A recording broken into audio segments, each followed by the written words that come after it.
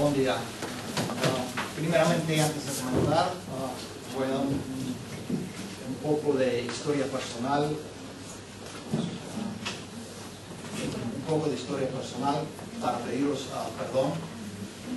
Ah, porque yo sé que durante esta ponencia diré una o dos tonterías, porque la facilidad del idioma, tanto en castellano como en catalán, tengo un poco, los tengo los dos un poco desusados, así os pido perdón Ah, es que, como, ha dicho la, señora Adriana, ah, yo soy catalán, he pasado 50 años en los Estados Unidos, toda mi educación ha, sido en un ámbito principal- principalmente um, angloparlante y entonces pues os pido perdón por cualquier tontería que pueda decir en las próximas dos horas. Ah, una cosa que quería subrayar también es que um, como bibliotecario, como director de la biblioteca de la Universidad del Distrito de Colombia, soy de facto el, bibli- el bibliotecario de el Distrito de Colombia. Es decir, que el distrito, que es una, una, una cosa, una, entidad un poco extraña, cabe en los Estados Unidos, que no es un estado, no tiene una biblioteca estatal. Entonces, la biblioteca de la universidad actúa de manera de biblioteca estatal y le ofrece el apoyo a, a las cortes del distrito y al personal del distrito también. La primera parte de la presentación o de la ponencia la haremos entonces en el sistema jurídico de los Estados Unidos, que es para daros la idea de, ah, de cómo funciona el sistema y para que así podáis entender cómo es que las bibliotecas apoyan a este sistema. Lo que yo quisiera hacer, hacer en esta ponencia es eh, un tipo de conversación con vosotros. Si tenéis preguntas en cualquier momento, si, si si cualquier cosa no, no sale bien, por favor, completamente libres de preguntar y así podemos mantener la conversación un poco más adelante. ¿De acuerdo? Pues como he dicho, vamos a comenzar con el sistema legal. Ah, el sistema legal de los Estados Unidos pertenece a una tradición de- del derecho común ah, y comparte con el núcleo de las normas legales de estos sistemas de, ah, de derecho común.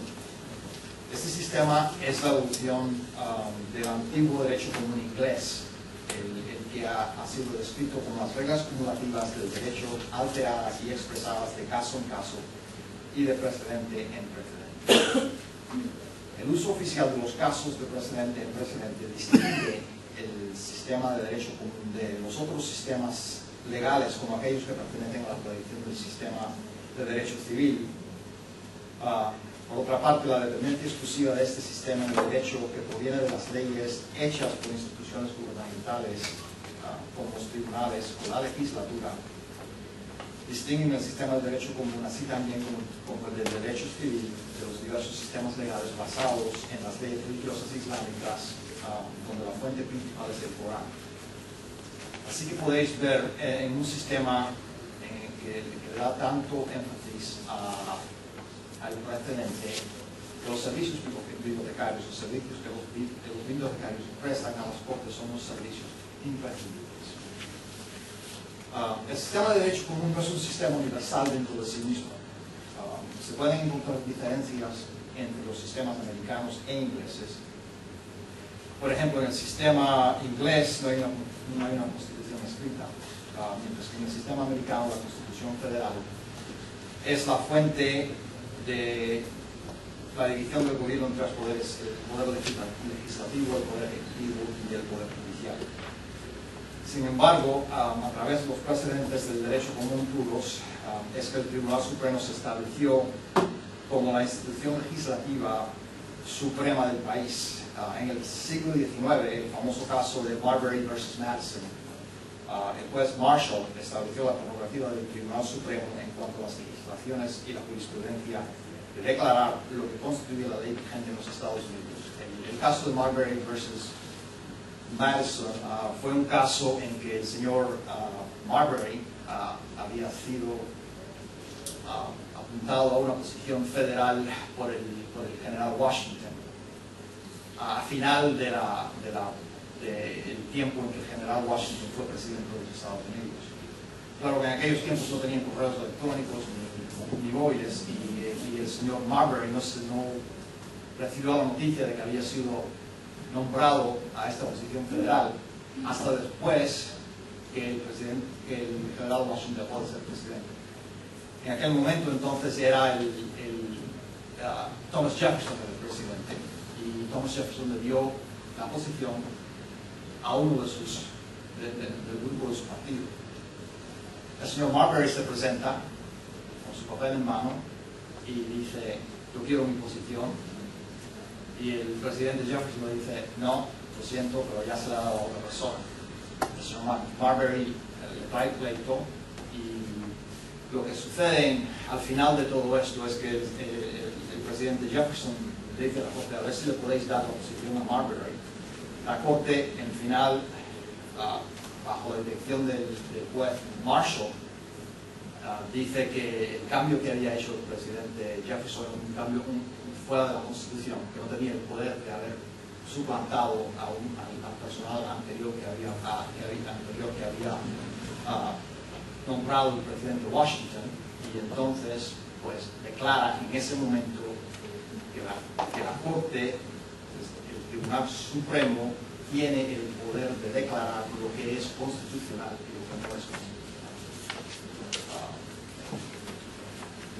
La, el principio de, de, que, que, basa todo esto es el principio de stare decisis. Um, lo que quiere decir que de acuerdo con, con, el nivel del tribunal que emite las decisiones, uh, estas decisiones se, se diferencian en su autoridad para poder dictar a otros tribunales a seguir estas decisiones en contextos similares. Uh, la autoridad de las decisiones que tienen el valor de precedente varía de acuerdo a la doctrina de stare decisis. Es un principio jurídico por el que los jueces están obligados a respetar los precedentes establecidos por las decisiones anteriores. En el contexto legal, eso se extiende en el sentido que los tribunales en general se atendrán a los precedentes y no podrán interpretar las cosas ya definidas. El principio se puede dividir en dos componentes. El primer componente es la regla que una decisión tomada por un tribunal superior es un precedente vinculante, también conocido como autoridad obligatoria. Y esto es muy importante para nosotros los bibliotecarios, porque las cortes siempre buscan un precedente que sea autoridad obligatoria. Uh, la autoridad obligatoria es una autoridad que un tribunal inferior no puede cambiar. El segundo es el principio de que un tribunal no debería anular sus propios precedentes, salvo que haya una razón grave para hacerlo, y que el tribunal esté guiado por los principios de los tribunales laterales e inferiores. Uh, este principio, uh, basado en los precedentes persuasivos, es un asesoramiento que los tribunales pueden ignorar y que de hecho ignoran más que de vez en cuando. Uh, pero, pero también es una cosa que es importante para nosotros como bibliotecarios porque a falta de un precedente de autoridad, la Corte quiere los precedentes persuasivos no quiere decir que se mantendrán atados por esos precedentes, pero siempre son cosas que si existe un precedente persuasivo en otra jurisdicción, las cortes quieren saber la existencia de ese precedente. Uh, la, ley del derecho común es una ley basada en, en, los, casos, en los casos jurídicos, uh, debido al valor que se le da a, a, a las decisiones de precedente Todas las opiniones de los tribunales se recogen en reporteros de los tribunales. Uh, las opiniones de los tribunales federales uh, están uh, recogidas en los reporteros federales y las opiniones de los tribunales estatales en los reporteros estatales y regionales. estos reporteros se pueden encontrar y están disponibles en forma impresa y en la web. Entonces, claro que con la investigación jurídica, uno de los primeros lugares donde se, se, se empieza una investigación es en los reporteros, para encontrar qué casos tienen anterioridad y qué, casos, tienen precedente a, a, de autoridad o precedente persuasivo. Finalmente, um, he dicho que el sistema en los Estados Unidos es un sistema de derecho común y eso es verdad en 49 de los 50 estados. En Luisiana, el, sistema de, de, derecho es el derecho civil. Y este derecho, es, eh, el derecho civil eh, está uh, basado en, en, los, en los códigos de Francia y de España. Uh, y claro, por estar basados en esos, códigos, entonces baja al derecho romano, al derecho común romano, uh, que, que, que, es un derecho que es bastante diferente al derecho común inglés. A pesar de la creencia popular uh, y la breve explicación que Stanley Kowalski da en uh, Streetcar Named Desire, en la obra de Tennessee Williams, es incorrecto decir que el Código Civil de Luisiana está basado o se deriva del Código, uh, del Código de, de Francia de 1804. La principal fuente de jurisprudencia de Luisiana puede ser, de hecho, jurisprudencia española, puede ser que viene, basada de las leyes de, de, las leyes de Toro, las leyes de las Indias y de las siete partidas. Uh, porque estas eran las leyes que estaban en efecto en Luisiana cuando se efectuó la compra de los Estados Hay grandes diferencias en el derecho civil Luisiana y el derecho común, uh, que se encuentra en todos en, ese derecho que se encuentra en todos los, otros estados. Uh, aunque muchas de esas diferencias han, han sido integradas debido a la fuerte influencia del derecho común la tradición civil aún está profundamente arraigada en el derecho privado luisiana y en algunas partes de la ley penal. Uh, una de las, de las cosas que más causan discusión en, en, en Luisiana es la, la, influencia que ha tenido el derecho común sobre el derecho civil y el cambio que ha hecho en el derecho civil. Pero en realidad, aunque ha, ha, hecho, el derecho común ha hecho bastantes cambios en el derecho civil luisiana, todavía se mantiene fuertemente en, en vigente. Um, y, por ejemplo, debido a la traducción del derecho civil, la Constitución de Luisiana no contiene un derecho de juicio uh, jurado en, en casos civiles, aunque este derecho está protegido uh, en general por la cláusula de protección igual de la Constitución de los Estados Unidos de la, de la enmienda decimocuarta, uh, por la cual si un derecho ha sido otorgado por el gobierno federal, los gobiernos estatales no pueden derogar ese derecho. Los tribunales de apelación en Luisiana también tienen un criterio mucho más amplio para revisar los hechos establecidos por, por los jurados en casos civiles que los tribunales en los otros 49 estados no los tienen. Uh, también los daños se reparten de manera diferente uh, que en las jurisdicciones de derecho común. Uh, por ejemplo, el, el, cumplimiento específico que siempre, casi siempre está disponible en Luisiana, pero que es raramente el derecho común.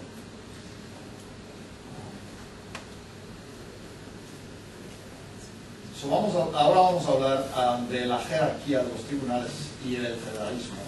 Um,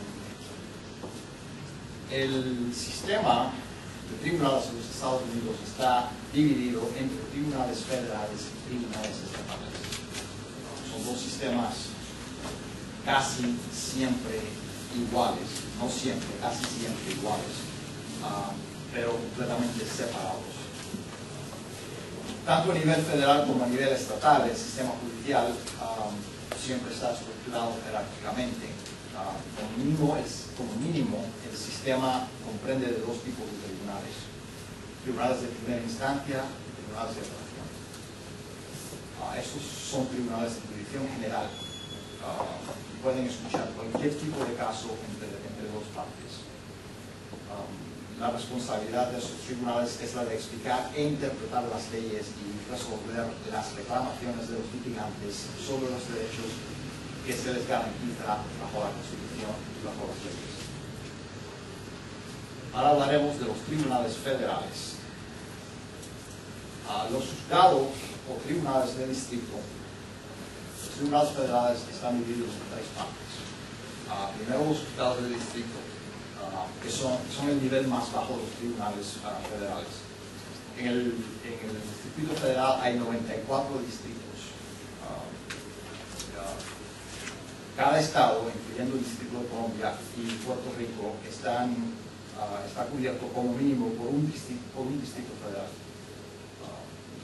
tres territorios de los Estados Unidos, las Islas Vírgenes, Guam y las Islas Marianas del Norte, ah, tienen tribunales de distrito que escuchan casos federales también. Hay cuatro tribunales de distrito que uh, cubren Nueva York. El Distrito Federal se cubre, uh, se cubre a Manhattan, se llama el Tribunal de Distrito para el Distrito Sur de Nueva York. Es decir, la, la, la, ciudad de Nueva York sola tiene un distrito para él es tan grande. Ah, los tribunales de distrito um, son tribunales de jurisdicción general, se puede, donde se puede escuchar todo caso basado en la Constitución, uh, en la Constitución federal o en una legislación federal y controversias, controversias entre ciudadanos de diferentes estados. Uh, los tribunales de distritos no están restringidos por la ley a recibir solo litigios limitados a un tema específico es decir, que es un tribunal general, se puede ver en cualquier caso. Uh, son los lugares donde se presentan y se juzgan uh, las demandas um, de primera instancia. Las decisiones de los tribunales de distrito están abiertas a cambio en apelación. Uh, la fase de apelación puede implicar dos niveles de control. Uno de estos niveles es un tribunal intermedio y el otro es el tribunal de, de último recurso. Ah, a nivel federal, ah, el tribunal intermedio ah, eh, es, el tribunal del, circuito y el tribunal de última instancia es el tribunal supremo. sin embargo, a diferencia de un sistema de derechos civil, las operaciones en el sistema legal estadounidense solo implican una revisión de la ley y no de los hechos. De esta manera, el Tribunal de Distrito tiene la, última palabra en cuestiones de hecho. Además, teniendo en cuenta el número tan pequeño de los tribunales de apelación, es obvio que solo un pequeño porcentaje de las decisiones de los tribunales de distrito son objetos a apelación. Por tanto, la realidad es que muchas veces los tribunales de distrito tienen la última palabra en cuestión de ley también. Um, desde el punto de vista de un bibliotecario jurídico, la importancia de que el tribunal de distrito sea el que tenga la última palabra en los asuntos de ley es que cuando se hace una investigación de una investigación jurídica de un caso específico es necesario no solamente de buscar las decisiones del Tribunal de Apelación, sino que bajar hasta los tribunales de distrito y buscar en realidad si hay decisiones que pertenecen a este caso. Um, los tribunales de distrito hacen la, ley a través de las decisiones que emiten como parte de, unas opiniones bien argumentadas. Uh, en general, la jurisprudencia uh, federal uh, se comprende las decisiones que se benefician del valor del precedente y que provienen de tribunales de apelación y los tribunales de última instancia. Sin embargo, aunque tienen escaso valor como precedente, las decisiones del tribunal de distrito, cuando no hay apelación, constituyen la ley definitiva en un caso y por lo tanto vale la pena registrarlas e investigarlas. Las, decisiones de un tribunal de distrito no tienen, muy poco valor como precedente porque no hay tribunales menores que ellos, claro, que, es el tribunal más bajo, el, nivel más bajo, no pueden darles precedente a, las, las, decisiones del tribunal de distrito sirven solamente como un ejemplo para los tribunales laterales o más altos. El segundo nivel es el tribunal de apelación, que son los tribunales intermedios del sistema. Uh, esos tribunales, uh, los tribunales de apelación, su existencia está prevista bajo la Constitución y también la existencia del Tribunal Supremo está prevista bajo la Constitución. Uh, en teoría, las decisiones federales de apelación pueden ser también apeladas al Tribunal Supremo. En teoría, pero debido al número limitado de revisiones que, que, el Tribunal Supremo otorga cada año, una resolución del Tribunal de Apelación puede representar la decisión final de la mayoría de los casos. El Tribunal Supremo no está, no está atado, no, no tiene que tomar los casos que se le presentan a los tribunales de apelación. Pueden dejarlos y, y, en realidad cada año toman un, número de casos muy pequeños de todos los casos que se han presentado. Entonces, las decisiones del, tribunal intermedio en esos casos. Um, en, en los Estados Unidos hay 11 circuitos regionales, 11 circuitos regionales más el circuito del Distrito de Colombia y el circuito federal, formando un total de 13 tribunales de, circuito. Los circuitos están organizados geográficamente de manera que cada circuito del tribunal de apelación sirve a más de un estado. Por ejemplo, el tribunal de apelaciones um, del segundo circuito sirve a tres estados, a Connecticut, Nueva York y a Vermont. Uh, por lo tanto, Nueva York cae bajo el segundo circuito regional y el tribunal, tribunal intermediario es el Tribunal de Apelaciones del segundo circuito. La excepción es el Tribunal de Apelaciones para el Distrito de Colombia, que solo sirve al tribunal. Como somos tan pequeñitos, tenemos nuestro, propio circuito. También hay um, tribunales especializados que se encargan de escuchar solo los casos especiales. Por ejemplo, el Tribunal de Apelaciones del Circuito Federal, donde he trabajado yo, uh, se encarga de apelaciones que involucran casos de propiedad intelectual. Um, eh, también las apelaciones del Tribunal de Reclamos y el Tribunal de Comercio Internacional. Un Tribunal de, apela de Apelación escucha tanto los casos de los juzgados del distrito publicados en su circuito y las decisiones de, la, de las agencias administrativas federales. ¿Están especializados los tribunales de apelación? No, solo, solo el Tribunal del Distrito Federal es especializado, que se especializa en, en, uh, en propiedad intelectual y casos de. Um, es, decir, que para las agencias, si, hay, un, caso de apelación para una agencia, por ejemplo, como tengo el, la, el, Consejo Nacional de Revisión de Casos de Trabajo, que es una agencia federal, pues si el, la, el caso cae um, dentro del distrito de este tribunal, es el tribunal del distrito el cual lo, lo revisa, no tiene que, no tiene que ir al tribunal.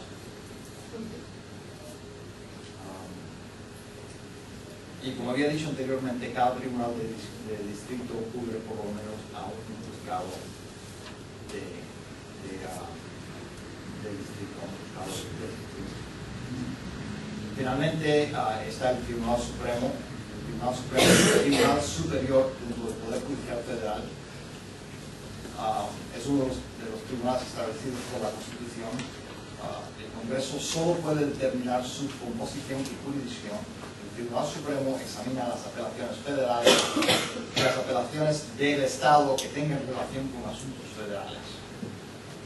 Uh, a criterio de, del Tribunal Supremo y dentro de ciertas pautas establecidas por el Congreso, el Tribunal escucha cada año un número limitado de casos, como había dicho anteriormente, uh, que se le pide que decida. E, estos casos pueden tener su inicio en los tribunales federales o estatales y en general se refieren a cuestiones importantes sobre la Constitución o la ley federal. Es decir, que el Tribunal Supremo escucha, puede escuchar todos los casos dentro del sistema federal, pero si hay un caso dentro del sistema estatal que depende de la Constitución Federal, entonces el Tribunal de Última Instancia no es el Tribunal Supremo del Estado, sino el Tribunal De los Estados Unidos. Pero mi pregunta es que, la, como has comentado que las decisiones de los tribunales de distrito también eran importantes, ahí se recogen exhaustivamente en la sociedad, exhaustivamente todas. se recogen casi todas, casi todas. Ah, hay, hay algunas veces en que es una deci- eh, la decisión es- está basada en- en- en una línea de precedente que ya bien establecida y sobre todo si es una decisión basada en una línea de precedente que desde el del Tribunal Supremo esas decisiones no se recogen. Entonces no se recoge. No. Ah. Pero- pero, pero si, si es singular. ¿Y quién lo decide esto? El juez, Ah, el mismo el juez mismo juez, opina si Opina es conveniente si recogerla o conviene recogerlo o no. Y es, Es un sistema muy bueno para el juez. porque así sí que quiere decir que es porque puede decidir que Claro. ¿Eh? ¿Eh? No, no, que digo que el sistema uno para el porque ponen en cuenta los que están. Claro. Claro. Claro, claro. Exactamente. El juez puede decir, esta decisión está basada en una línea de precedente bien establecida, que sube hasta un precedente de la, de- de- del Tribunal Supremo de los Estados Unidos, por lo cual es necesario que se recoja. Y ya, está hecho. Y las apelaciones hacen lo mismo, el juez decide. Las apelaciones se recogen todas. Ah, también se recogen. Definitivamente se recogen todas. Porque claro que las apelaciones ya forman, forman parte del precedente para los. Claro. Entonces se han de recoger todas. ¿Lo hace una agencia sola a nivel estatal o, o? ¿Lo hace una agencia a nivel estatal o cada estado, ahí a nivel federal o cada estado hace... A nivel federal la- lo hace la GPO, la Government Printing Office, la, la oficina de imprenta del gobierno, que recoge todas las decisiones federales y las, las. Entonces hay una, hay una forma impresa oficial que es la que viene de, de la GPO y hay formas que son extraoficiales que vienen Lexus, uh, Reed Elsevier y de Thomson Reuters, de Westlaw, editorial? editoriales de casas editoriales. Sí. No sé si esto, bueno, igual hablaré más adelante no. No, está bien, tenemos, queremos tener una Tenemos que tener, pero como bibliotecario yo estaba pensando a ver qué herramientas nos proporciona el sistema para encontrar todo esto. Ah, aquí tengo un esquema, porque yo soy una de estas personas que aprenden por, la, modalidad visual. tengo un esquema, de, las- de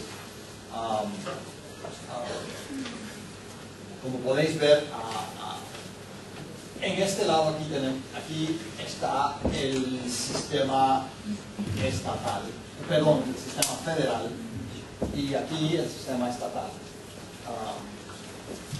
En el sistema federal, claro, el Tribunal Supremo en la parte superior, los tribunales de apelación de, de de el circuito y los, tribunales de- del distrito.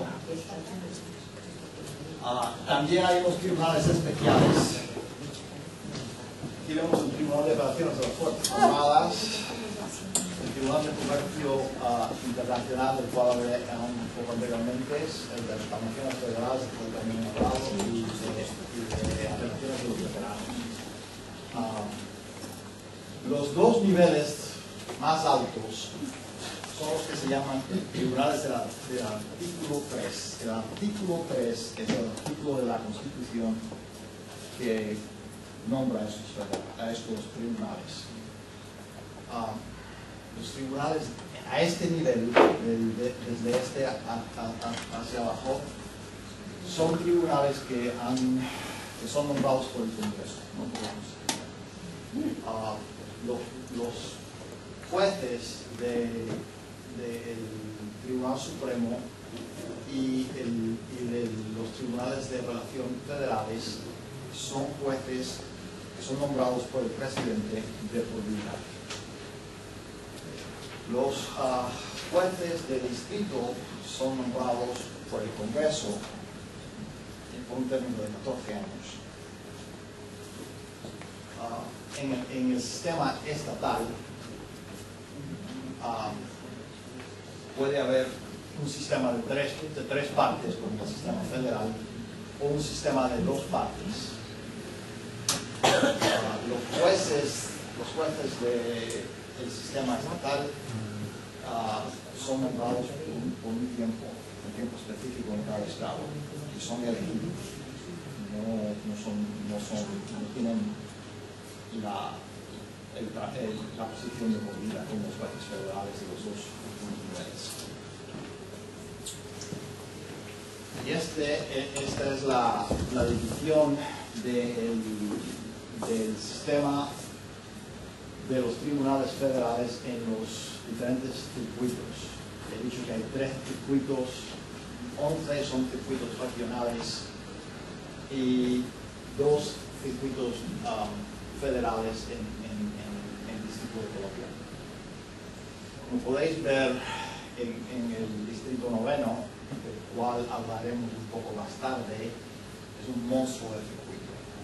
Uh, una cantidad de estados grandísimos y Alaska y Hawái, la- las Islas Marianas y Guam, las Islas del Pacífico. Uh, para, para un bibliotecario, para el bibli- bibliotecario del circuito noveno, es un trabajo tremendo porque tiene que mantener la eficiencia de las bibliotecas y, y, y dar los servicios en todo este tipo de estados y en más mala. Entonces más tarde hablaremos un poco de- de- del circuito noveno, explicaremos cómo está dividido y demás. Y cuando, cuando hablaremos del sistema estatal, ah, vamos a hablar de, Tribunal de Alaska, de- perdón, de la Biblioteca de Alaska y, de, y también hablaremos un poco de la Biblioteca de Origen. ¿De acuerdo? Muy bien. Um, ¿Otras preguntas? No. Bueno, vamos ahora al, al modelo, al modelo, ah, pregunta. sí, Que también más o menos la diferencia entre estatal y federal. Pero federal tendría que ser como algo que que engloba a todo el estado, en el caso de estos tipos de federal. Y estatal sería lo que hay en cada estado. claro, el, el sistema estatal, Es muy diferente. ¿no? el sistema estatal cubre todos los casos que caen bajo la constitución del Estado. Del estado. del Estado. Pero también pueden haber casos federales que se traen a la Corte por, por medio del sistema estatal. Otras cosas que se pueden traer a la Corte por medio del Pero sistema. con un ejemplo, ¿qué sería un caso federal? ¿Qué me puede pasar a mí para que ya directamente vaya a un, a un tribunal federal? como por ejemplo ah, la primera enmienda de la Constitución de los Estados Unidos que garantiza la libertad de, de habla, que puedes decir cualquier cosa, pero no puedes gritar fuego dentro de una aula cerrada como esta donde hay tanta gente.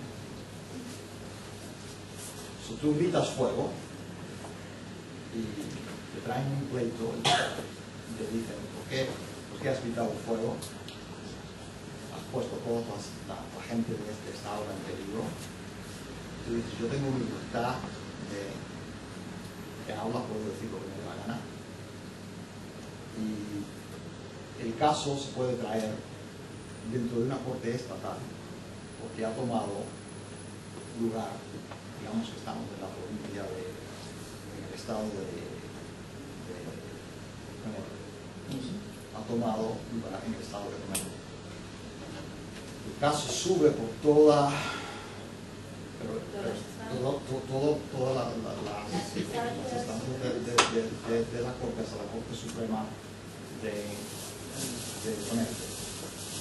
Ahí después tienes la oportunidad de llevar el caso a la Corte Federal porque es un tema federal, es tu libertad de hablar bajo la Constitución Federal, la de la Constitución Federal. Y entonces, en- en cualquier momento eh, eh, en, las Cortes Federales puedes hacer el cambio al sistema. Pero, perdón, en las Cortes Estatales puedes hacer el cambio al sistema.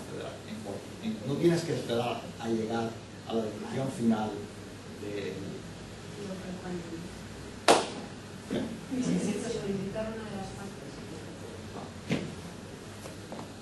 en cualquiera, en cualquiera de las fases del, del- proceso puedes ir directamente a la Corte Federal, porque es completamente un proceso basado en, tu derecho federal, está protegido bajo la enmienda 14, que si el, si el gobierno federal te da un derecho, el Estado no te lo puede suprimir. ¿De acuerdo? Si el delito se comete en dos estados, si el delito se comete, se comete en dos estados, o si el pleito es entre un ciudadano de un estado, el estado de Virginia y el estado de Delaware, entonces podemos ir directamente a las cortes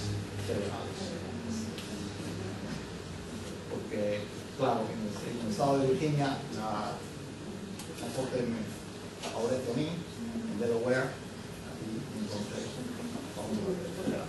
Entonces a, a la Corte Federal un tribunal ya directo de apelación o, o vas a la Corte Federal. puedes ir al, al juzgado de distrito, en, en un caso donde la ciudadanía es de dos estados diferentes, pues empiezas en el, en el juzgado de distrito. Federal, pero el que te toque, ah bueno, puede ser que te toque el mismo por los dos estados, o si no que tiras una moneda al aire. Si no tiras la moneda al aire. A decir que el de Connecticut y el de Virginia, Claro. que Que, que- caen, en dos, caen en dos distritos Uno de diferentes. Nueva York y uno de California, vale. Que Virginia está aquí, Connecticut está aquí, Virginia está en el, en el cuarto y Connecticut está en el segundo. Y entonces lo que pasa es que um, mi, mi abogado va a intentar de llevarlo en, en el distrito de Virginia, su abogado va a intentar llevarlo en el distrito de, de Connecticut y le queda la corte de decidir quién lo acepta y quién no lo acepta. Y, Es una ¿Y hay algún tribunal que decida dónde va? Porque luego, claro, cada, eso también pasa aquí. A ver, Hay, hay un grupo de, Un hay un grupo, hay un grupo de reglas Ah, ah, ah, vale, Hay un vale, grupo de reglas que, que, que determinan en un conflicto de ciudadanía a dónde cae la situación. Sí, sí. Por ejemplo, si el, el pleito entre nosotros se debe a una empresa, a una empresa que tengo yo en Connecticut, va a ir al segundo. Porque aunque mi ciudadanía sea en Virginia, Sí, sí, sí. el caso en Connecticut. Sí, sí.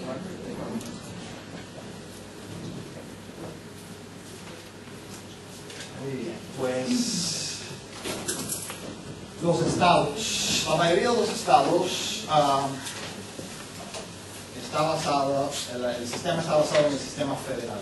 Ah, cada uno de los estados tiene su propio sistema. La estructura generalmente refleja el sistema de los tribunales federales, generalmente. Ah, aunque las nomenclaturas de, los tribunales varían de estado en estado.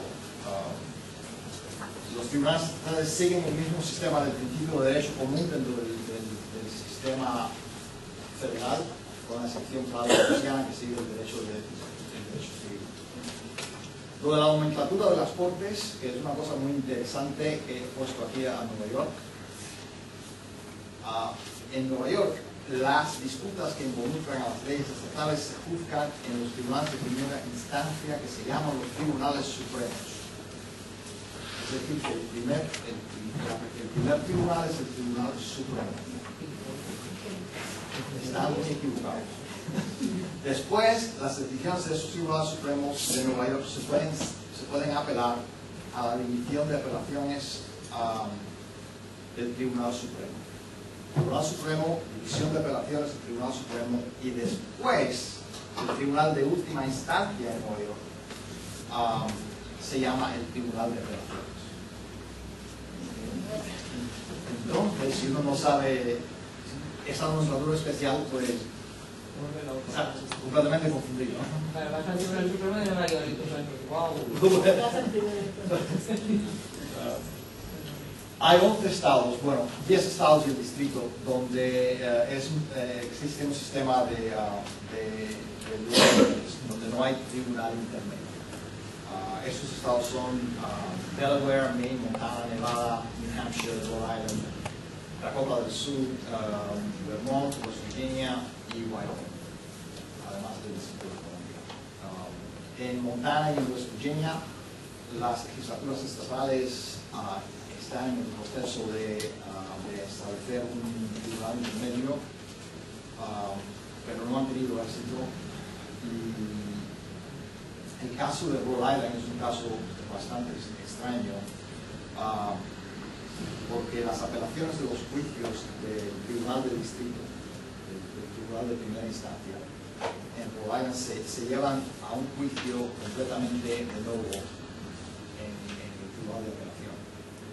Ah, que es una cosa que está completamente en contravención de la regla general del derecho común de los tribunales de apelaciones no hacen casos basados en el derecho, sino solamente en la ley. Ah,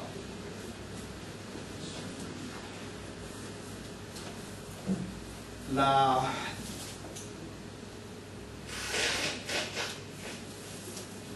La idea de jurisdicción, entonces, en ese sistema de los Estados Unidos es, es un- es un- una idea muy importante, ah, porque tiene, dos, definiciones diferentes. La primera es la de, es el poder de los, tribunales, que tienen para ejercer la autoridad judicial sobre un asunto. El- eh,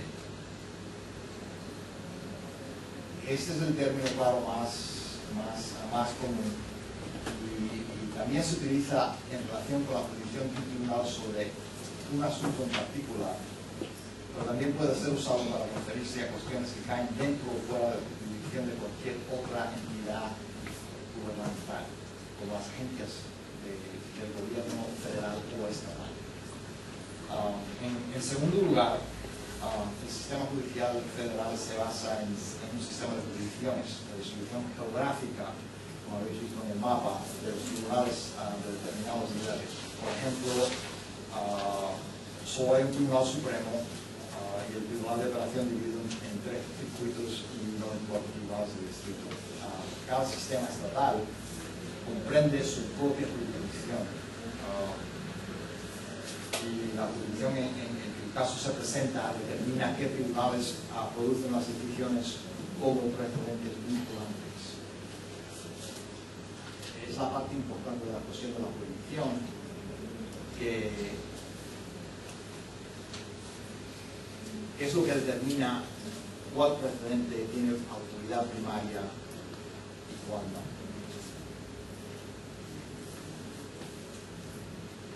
También, um, también forma pa- parte de, de esta determinación la jerarquía del tribunal.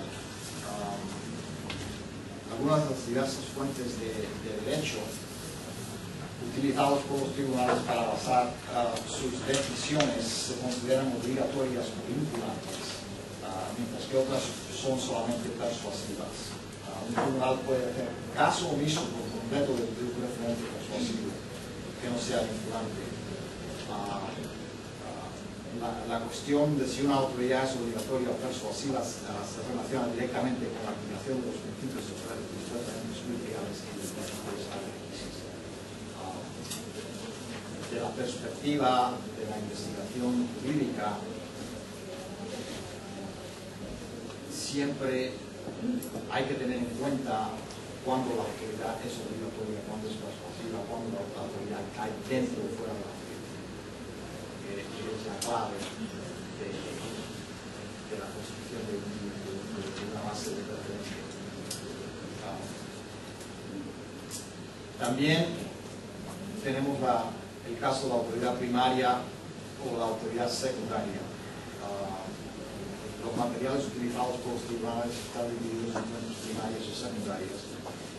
Las fuentes primarias ah, pueden ser autoridades obligatorias en un determinado tribunal o podrían ser simplemente autoridades persuasivas.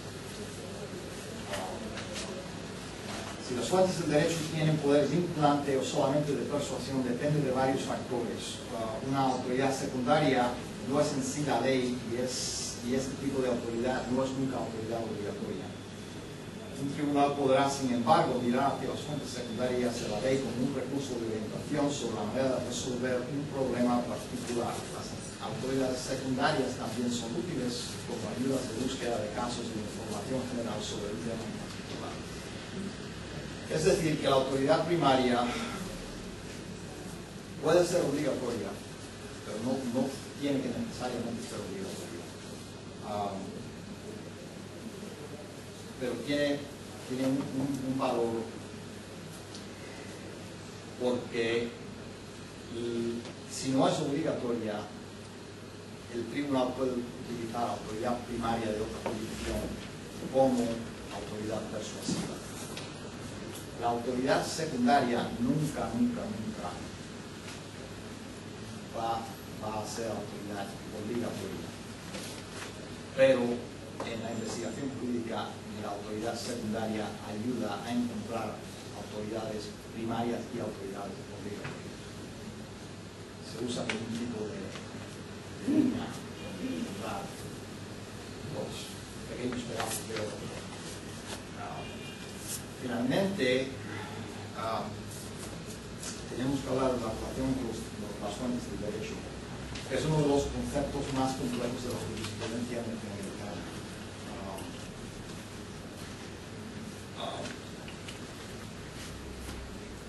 La, la relación entre las fuentes de derecho es la medida en que diferentes fuentes de derecho, tanto de los sistemas estatales o federales, se interrelacionan unas con otras. Hay un conjunto complejo de reglas que definen la prioridad relativa entre las diferentes fuentes de la ley y entre los sistemas federales y estatales. En este conjunto de reglas, la, din- la dinámica entre los diferentes tipos de autoridad tiene una influencia tremenda en las formas de servicios a los diferentes tribuna- tribunales. La interrelación de, de las fuentes, por ejemplo, vamos a hablar de, del sistema federal, en el cual las, las decisiones del Estado, así sean decisiones de la- del Tribunal Supremo, no tienen ningún valor de autoridad. Solo son decisiones que se pueden utilizar como autoridades persuasivas. Pero del otro lado, en un caso, un caso estatal, donde haya una decisión federal, sobre todo una decisión federal del Tribunal Supremo, estas decisiones son en, las, los tribunales del Estado. Cuando hacemos una investigación jurídica sobre un tema específico, en un caso específico, tenemos que buscar aquellas fuentes de derecho que sean principalmente fuentes de autoridad, pero que tengan autoridad sobre la juri- jurisdicción, lo que depende de donde uno cae en, el sistema. Si uno cae en el sistema um, como, digamos, al nivel de la autoridad del Tribunal de Apelación de- Federal, hay solo muy pocas fuentes de derecho que son fuentes de autoridad. La- las decisiones propias del, distrito en que caemos y las decisiones del Tribunal Supremo. Si uno cae al nivel de, un juzgado del distrito en el sistema estatal, casi todas las Claro, son fuentes de derechos a- a- a- que tienen autoridad. Pero dentro del mismo Estado, por ejemplo, la decisión de, de un tribunal supremo de un Estado no tiene valor autoritativo ninguno dentro de la, dentro de la decisión de un tribunal de primera instancia en otro Estado.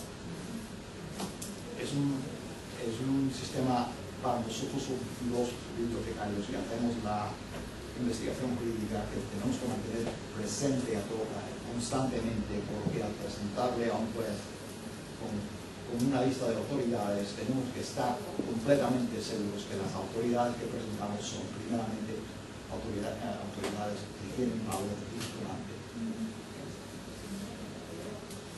Creo que he llegado al final de la primera parte y entonces lo que vamos a hacer en la segunda parte es que vamos a hablar de bibliotecas, primero en los, en los tribunales federales y después en los tribunales estatales. Vamos a tomar la biblioteca del sistema del circuito noveno como ejemplo y después la biblioteca de Alaska. Yo soy fotógrafo por afición y me encanta esta foto, pero me hago la pregunta, si vais a tomar el tiempo para hacer esta foto, que se ha hecho probablemente con tres diferentes fotos juntas, ¿por qué habéis dejado esta foto? Es lo primero que no ve las papeleras. La primera. Habla vos, habla. Pero ya me viene, bueno, Ok, bueno, Això què és? Què és? Parece que causado. Sí.